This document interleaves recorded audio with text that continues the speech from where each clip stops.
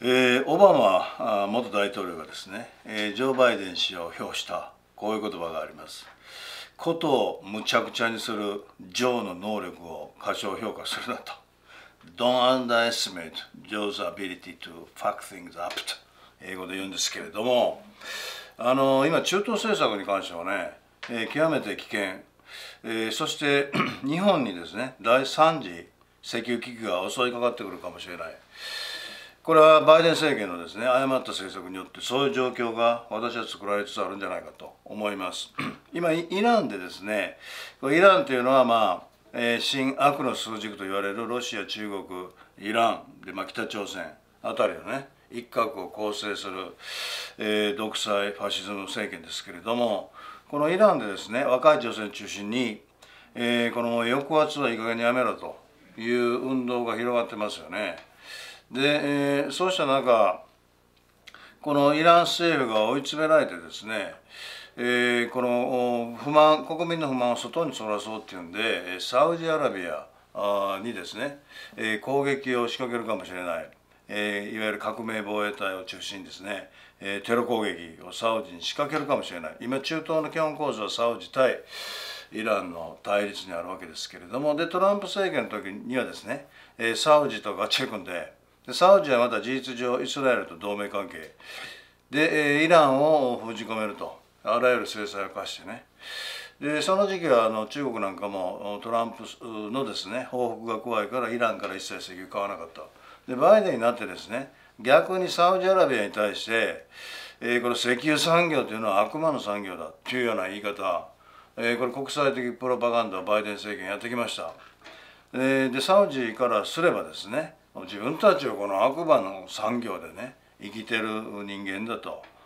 言ってですねでそうなるとこう将来の油田開発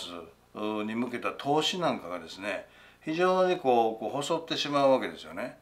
で今バイデン氏がサウジに頼んでるのはですねまああのサウジから見ればふざけた話なんですけれども、えー、アメリカでですねガソリン価格なんかが非常に上がってるとこのままでは中間選挙にね民主党が負けてしまうというんで、えー、緊急にですねサウジに石油増産してくれと。バイデン氏わざわざあの自分もサウジ訪問してね、えー、そういうことを頼んだりしてましたがサウジから見ればねなんでバイデンを勝たせるために、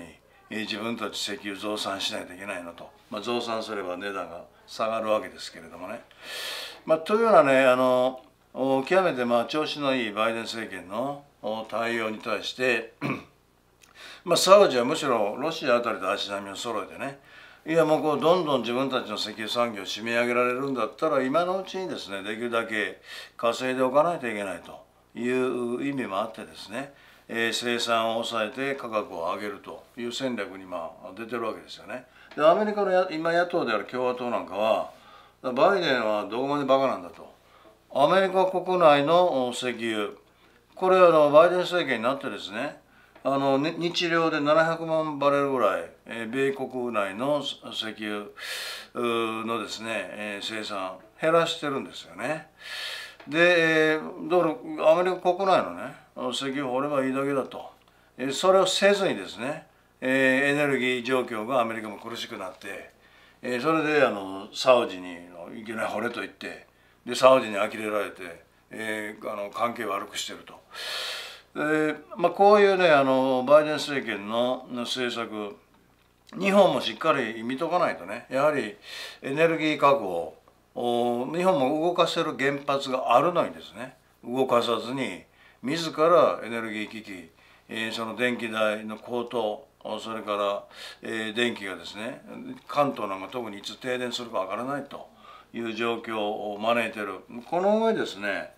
あのさっき言ったような状況でえー、中東からのね石油が止まればこれイランがですね、えー、サウジにあのテロを仕掛けてでホルムズ海峡が通過できないというような状況になると日本に来る単価はほとんど止まるわけですからね、えー、だからまあそういうことをねなんで今あの国会で議論しないのかこのエネルギー問題ね最重要課題の一つだと思いますけれどもアメリカも反面教師として捉えてねえー、しっかり予算委員会でやらないといけない統一教会ばっかりやってる本当に情けない状況に今日本はありますね、えー、今日は以上です。